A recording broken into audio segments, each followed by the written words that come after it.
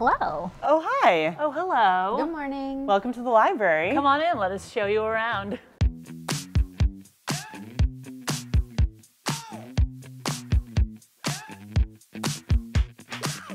These are the books. We have so many books in this library. I would say about 17,000 of them. Yeah.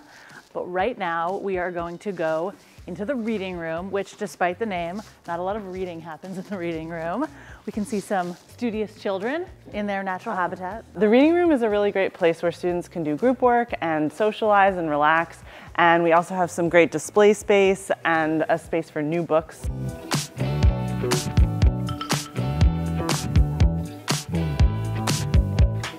Down this way, we'll find the quiet room, which is one of the coolest and most beautiful rooms on campus. No talking in the quiet room.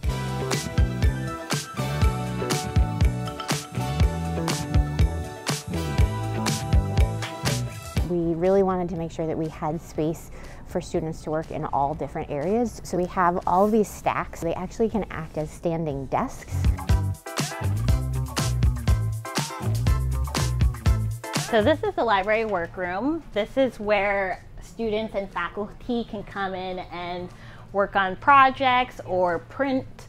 And then in here is our backpack office. This is set up as an auxiliary place for the archives. We have puzzles, we have games, and just extra supplies that the library needs.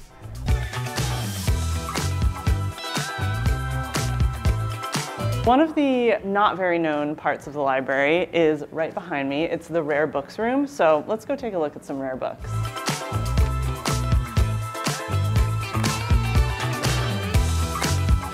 In here we have about 1,300 books from Walter Tower. His kids and grandkids went to Nobles and he was a book collector his whole life and he and his wife June donated a lot of books to Nobles. So we use them in classes and they're just a really amazing collection.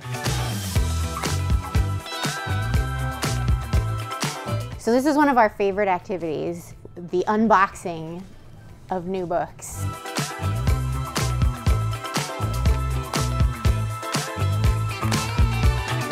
We buy a lot of things for general interest reading. That's one of the things we want to really encourage here is taking the time for pleasure reading. We also buy a lot of nonfiction to support curriculums and we want to make sure that we have titles that really reflect a broad spectrum of interests and identities. You can check out digital books, you can check out digital audiobooks, you can read the newspaper online. We have magazines, we have lots of different things for you all to check out here in addition to the books that we have.